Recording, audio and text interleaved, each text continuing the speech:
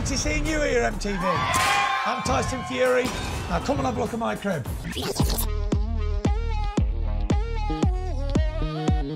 Right, MTV. I've lived here for around about six years.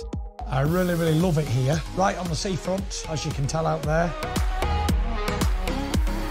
In this fridge, you've got some yogurts, fromage frais, you've got some fresh fruit, some steaks, some big steaks, and plenty of milk because the kids drink like three of these a day. So, this is the part of the family that you haven't seen, and she's my little treasured girl. She's called Minnie, and she's a Chihuahua, and she's very nice, and she loves Dad. And she stinks sometimes. Loads more to see. Let's go. This is literally the holy grail in the whole of boxing world. There we are, and it belongs to me, the heavyweight champion of the world. Hey, Tyson.